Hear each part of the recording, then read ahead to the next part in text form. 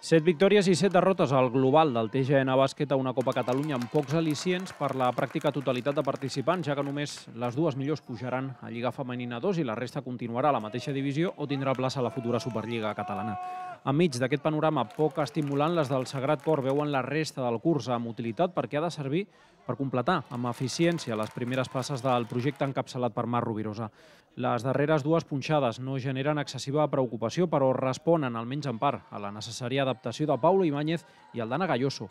I a més efectiu, sí, i això canvia, rutines a pista. Jugadores noves, jugadores importants, jugadores amb rol, jugadores que tenen punts i pilota, doncs hem de tocar una miqueta l'estructura de joc, hem de tocar una miqueta rols i això fa doncs, que ens costi una miqueta adaptar-nos. Si aquestes jugadores haguessin estat al 100% des de l'agost, ara esperaríem anant com un avió, però sabíem que això passaria i ens està passant i creiem que setmana a setmana ho millorarem. El viatge a Igualada de la primera volta va ser fructífer perquè va vèncer el TGN Bàsquet per 14 punts. Ara les de la noia passen per la pista a Lila i ho fan amb una estadística de 6 a 9.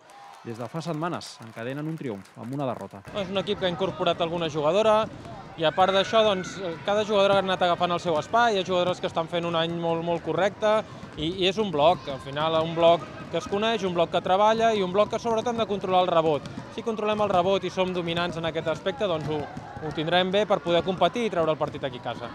A banda, de les lesiona... a banda de les lesionades Helena Curtiella i Laia López, Clàudia Badillo i Sara Torruella van acabar amb molèsties la jornada anterior i tocarà estar pendents per si arriben bé o no contra l'Igualada, diumenge a les 6 de la tarda.